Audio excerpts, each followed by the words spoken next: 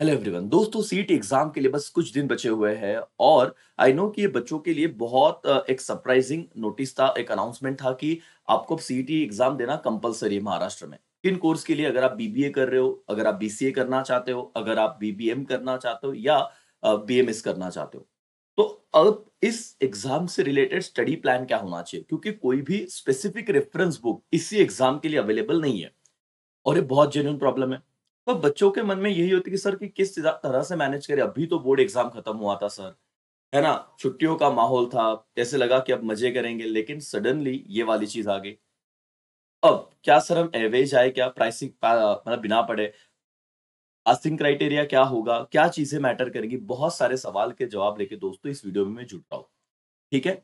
ज़्यादा क्लासेस की बात मैं नहीं करूँगा। ऑलरेडी मैंने वीडियो बना चुका हूँ मैं उस पर ओके, हमारे मैथ्स के कुछ डेमो लेक्चर आप तक पहुँच चुके हैं, क्योंकि मैथ्स ही क्रूशियल सब्जेक्ट है। मैं वही बताने वाला हूँ कि कैसे इसको डील करना है।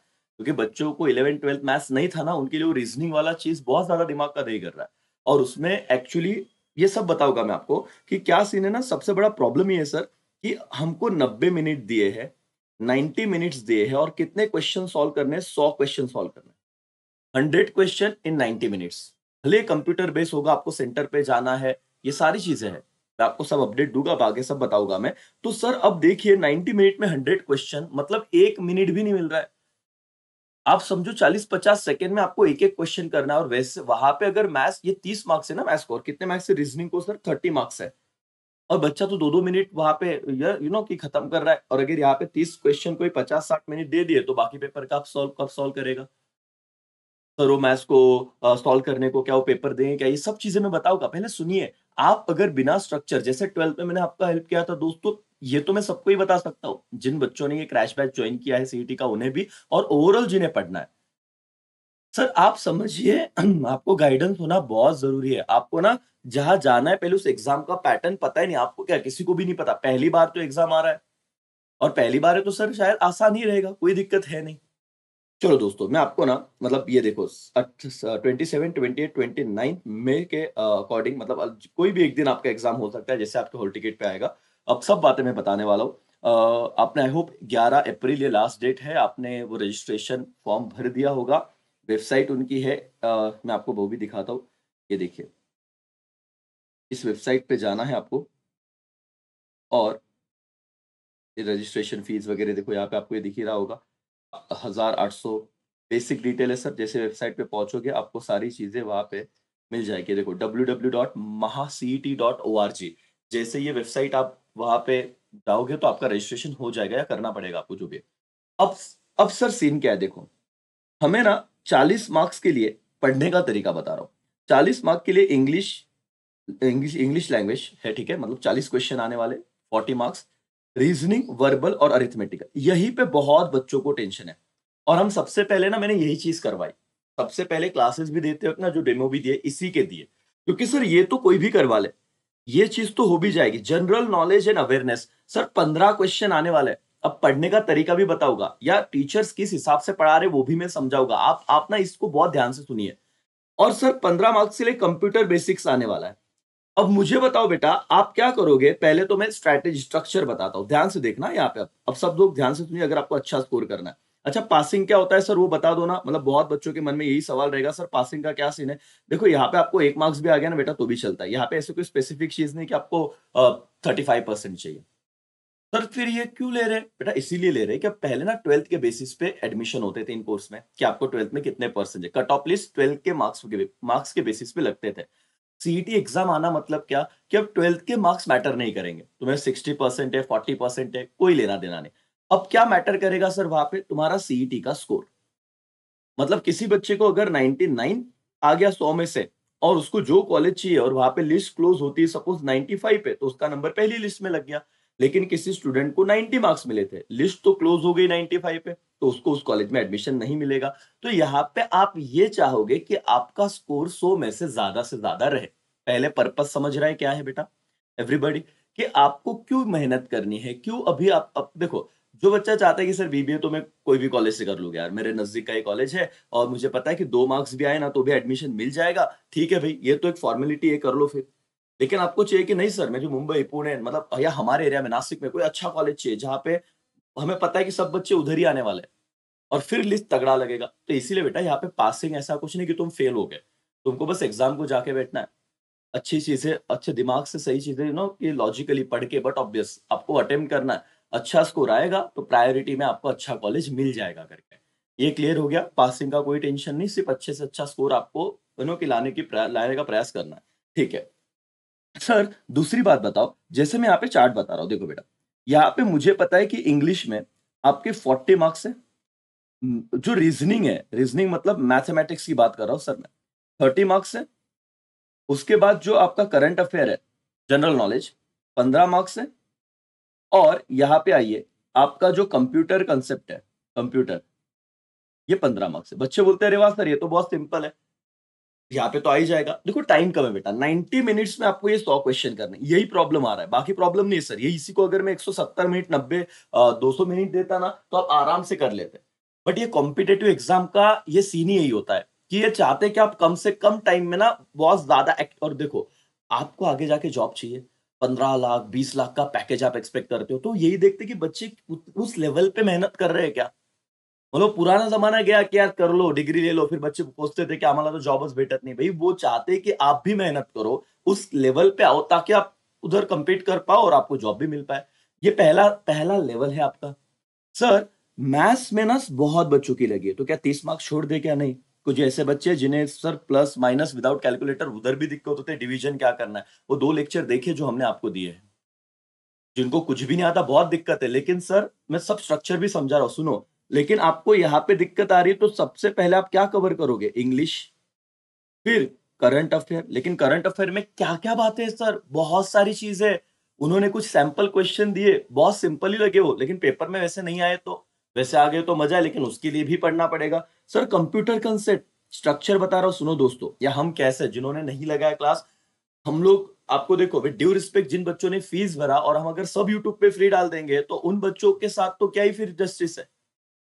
सर, और पहली बात, अगर मेरा होता तो मैं तो वैसे ही करता, लेकिन अभी जो टीम हमने ली है, उन्होंने उतना मेहनत किया है, सर नोट्स बन रहे पाँच तारीख से मतलब बाकी सब्जेक्ट भी मैथ्स तो ऑलरेडी शुरू हो गया है।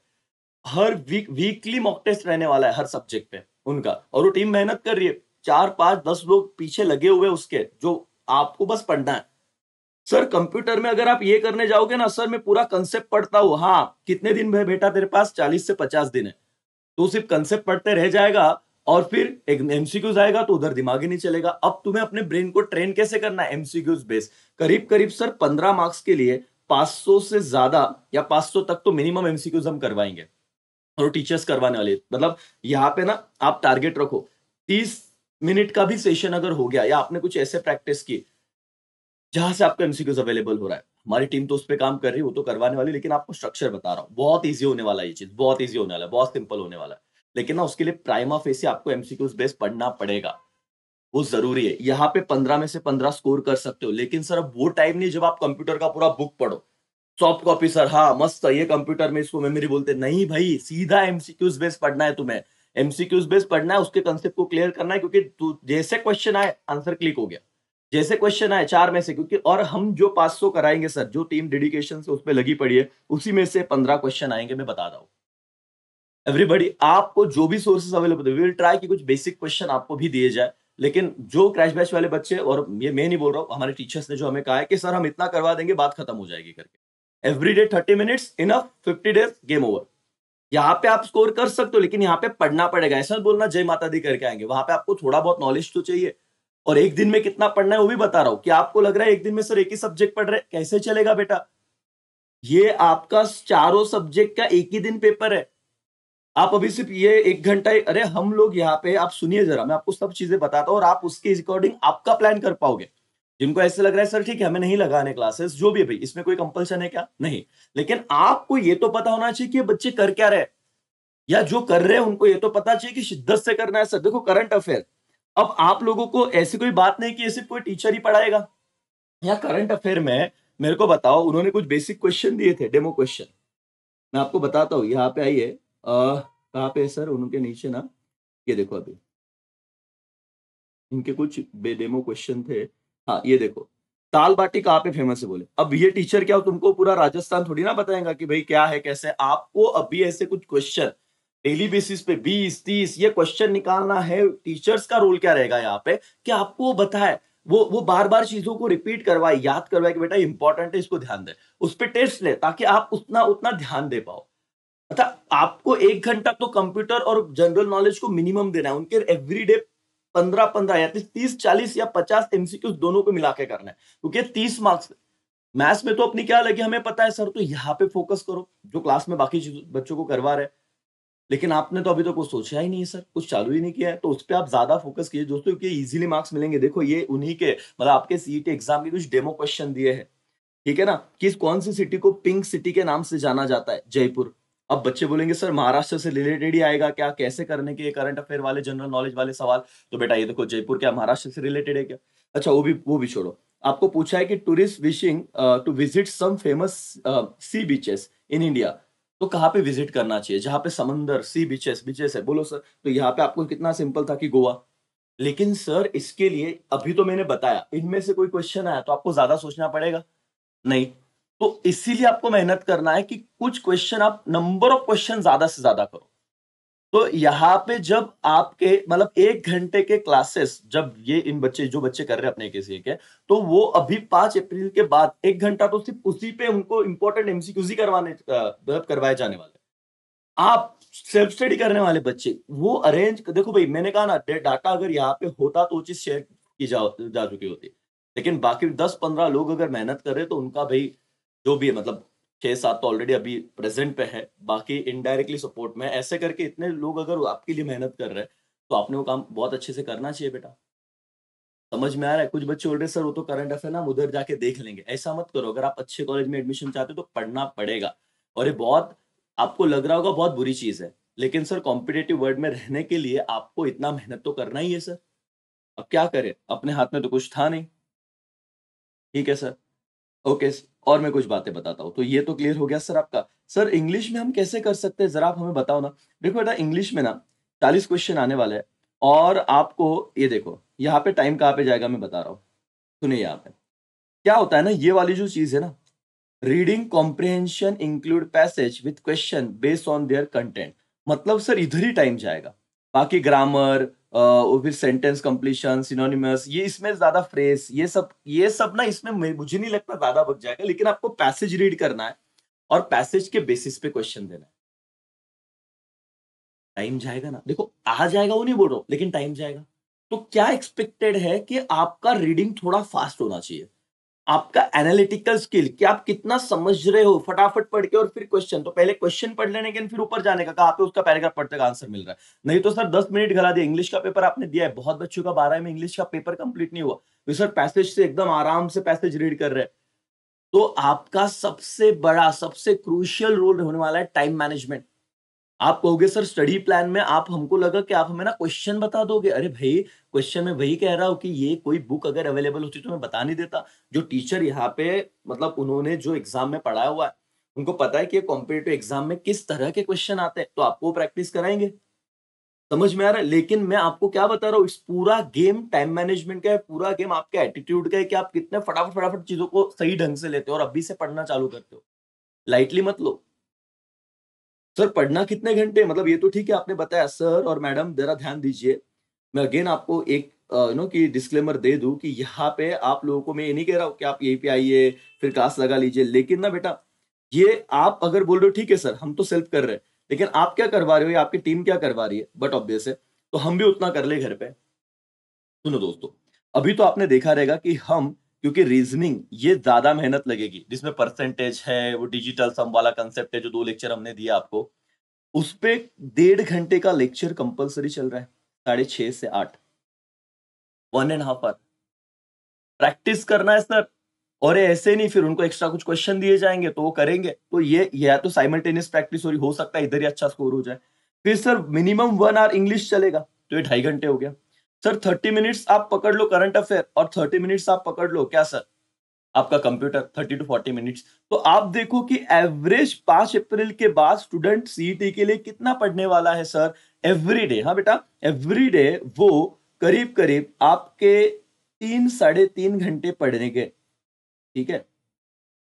थ्री आवर्स थर्टी मिनट्स करके। और आप अगर सेल्फ स्टडी कर रहे हो, आपने कुछ नहीं चालू किया, तो आपको स्ट्रक्चर बनाना पड़ेगा। अब आप कहोगे सर एक काम करो ना, सब चीज़ें फ्री पे डाल दो। मैंने वही कहा ना दोस्तों कि अगर 12वीं में आपको वो मतलब देखो बोलने वाले बहुत रहते हैं कि अरे हाँ, ये ऐसा-वैसा फिर ये कमाने के धंधे। बेटा, अभी आप प्रोफ़ेशनल में हो, है ना? प्रोफ़ेशनल कोर्स में हो, आपको समझ में आ रहा है, है ना? कि साढ़े तीन घंटे अगर कोई टीचर मैन पावर चार टीचर अलग-अलग है और हर एक के लिए अलग-अलग टीचर है। ठीक है? वो आपके लिए मेहनत करे तो बट ऑब्वियस वो इतना टाइम दे रहे मैंने 12वीं में तो आपको कराया था जब मैं अकेला था। तो वहाँ पे और आप पे करोगे तो आप बैठोगे और आप पढ़ोगे। ओके? और सर ये नहीं किया तो क्या हो जाएगा? देखो बेटा ये ये उन बच्चों के लिए था जिन्हें सीरियसली इस कोर्स के बारे में थोड़ा समझना था। स्टडी प्लान मतलब क्या कि कितने घंटे पढ़ना है मिनिमम ये तो तुम क्लास में करोगे उसके अलावा बच्चा 2 1 घंटा और पढ़ेगा। जब वो टेस्ट लेंगे हम वीकली हो गया, जो भी है इस सब पे, उस पर गूगल फॉर्म बेसिस पे अलग से टेस्ट चल रहे हैं। लेकिन वे वही चीज़ है कि वो टाइम दे रहे तो कोई भी बंदा टाइम के बदले में कुछ तो रिवॉर्ड माँगता है।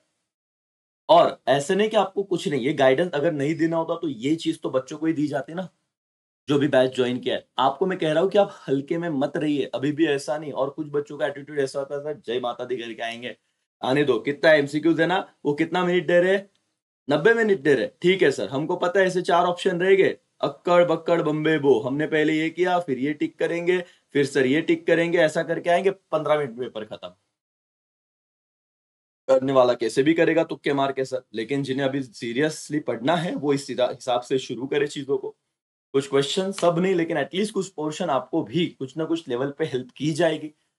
थोड़ा बहुत आपको दिया जाएगा लेकिन वो सब नहीं दे सकते जो बाकी बच्चों को मिल रहा है सर, उसका एक बोलते हैं ना कि एक कॉन्ट्रैक्चुअल मेरा भी एक लिमिटेशन है। लेकिन पढ़ना शुरू कीजिए दोस्तों। एक सही माइंडसेट से पढ़िए अभी भी और इस चीज़ के बताओ ये मैथ्स जो जिनको डिफ़िकल्ट जा रहा है, उसके बारे में बात करता हूँ। यही सवाल रहेंगे। सर इसका कैसे करना है? मैं आपको बताऊँ ना बेटा कि एक सबसे बड़ा सीन क्या है कि मैथ्स पहले तो था नहीं और बच्चे एक डेढ़ साल से इस चीज़ के लिए पढ़ते हैं सीईटी एग्ज़ाम के लिए। रोज़ प्रैक्टिस करते हैं। अब आपके पास टाइम कम है और उस कम टाइम में आपको इतनी सारी चीज़ें कर रहे हैं तो आपको बर्डन फ़ील हो सकता है लेकिन अब लड़ो, ऑप्शन तो है नहीं। अब आपको फाइट करना है अगर आपको अच्छा स्कोर करना है तो, नहीं तो फिर तो और भी टेंशन नहीं है। तो आपके पास ऑप्शन नहीं है, सीईटी देना है, एग्ज़ाम में क्वेश्चन आने वाले, हो सकता है सिंपल है, एक बार आप पढ़ के तैयार रहो। तो जो भी बीबीए, बीसीए, बीएमएस, है ना? बीबीएम करने वाले स्टूडेंट है आई होप आपको वीडियो यूज़फुल रहा होगा। आपको कम से कम 3-4 घंटे पढ़ना है अभी से, वो 40-50 दिन अगर आपको अच्छा स्कोर करना है तो। अगर आप अभी बहुत रिलैक्स मोड में हो, एक ही घंटा कुछ तो कर रहे हो, फिर देख रहे हो, तो इतना धीरे-धीरे कैसे चलेगा बेटा? है ना? तो दोस्तों, मैं ना मतलब मिसलीड नहीं करना चाहता, मिसगाइड नहीं करना चाहता कि भाई आराम से एक एक सब्जेक्ट ना एक दिन कर ले। फिर दूसरा सब्जेक्ट दूसरे दिन कर ले, इसका रिवीजन कब होगा? एवरी सब्जेक्ट आपको हर दिन तो चाहिए। थोड़ा-थोड़ा, थोड़ा-थोड़ा तब जाके अच्छा स्कोर आप कर पाओगे। नहीं तो सर 30-40 लाना है तो आराम से चलते रहिए। फिर देखो, अप्लाई करो जो कॉलेज में मिलता है ठीक है, डोनेशन भरना है तो ठीक है। मेहनत कर लो, जो होगा देख लेंगे, उसका कोई टेंशन नहीं। लेकिन आप मेहनत करना मत छोड़ो सर, वो तो ज़िंदगी का पार्ट है। ओके दोस्तों, तो आई होप आपको ये थोड़ा बहुत यूज़फुल रहा होगा वीडियो। तो सीईटी वाले स्टूडेंट्स अपना बेस्ट दें, बाकी तो कोई नहीं, ऊपर वाला है आपके साथ। चलो, बाय टेक केयर, जय हिंद।